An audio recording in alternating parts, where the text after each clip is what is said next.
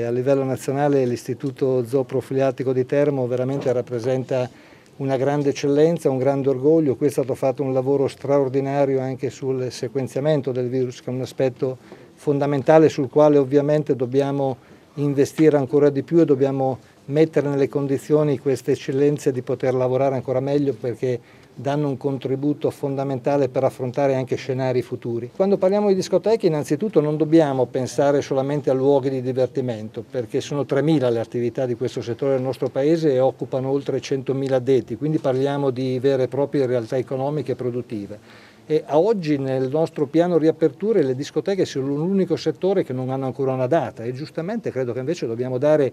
pari dignità e dobbiamo indicare anche loro una data per potersi programmare, per poter riorganizzare la propria attività. Io ho incontrato i rappresentanti sindacali, non chiedono di aprire domani, chiedono di poter programmare, di inviare insieme una data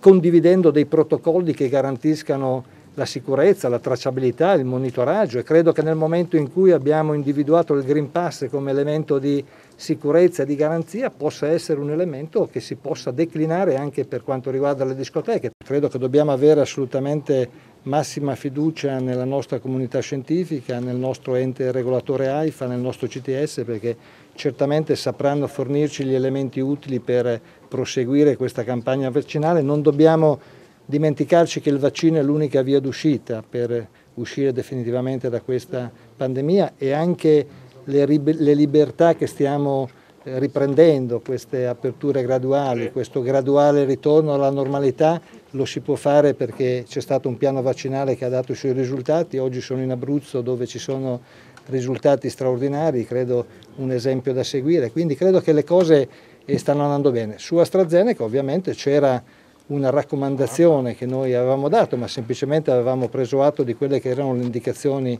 dell'EMA, poi ovviamente c'è stato anche un parere da parte di AFA, credo che sia una di quelle scelte ovviamente che spettano più alla scienza, non alla politica, non credo che spetti eh, a un politico o al commissario figliuolo decidere che tipo di vaccino somministrare a quale età, quindi eh, ripeto, eh, ci atterremo a quelle che saranno le eventuali altre indicazioni.